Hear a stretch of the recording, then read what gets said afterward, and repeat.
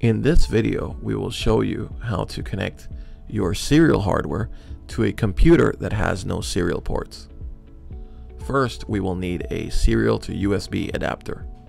Once the drivers have been properly installed, plug in your USB to serial adapter into any USB port.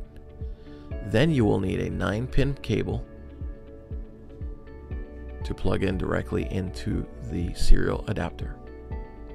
The other end of this cable will be 9 pin as well.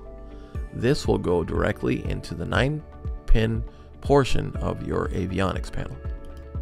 Now that the 9 pin to 9 pin cable has been plugged into the computer, our next step will be to plug in the 25 pin to 9 pin cable from the avionics panel to the Pro panel 2.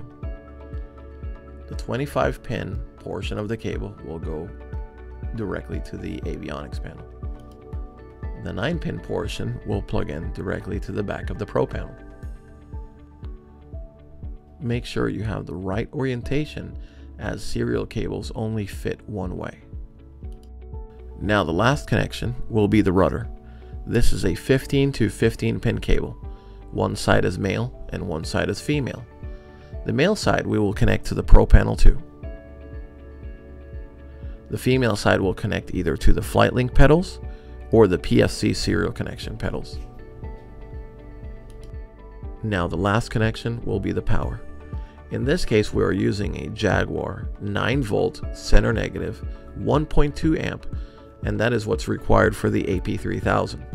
Now in some cases you have either a wire splitter like this one where one side goes to the Pro panel and the other side goes to the radio or you may have two individual power connections.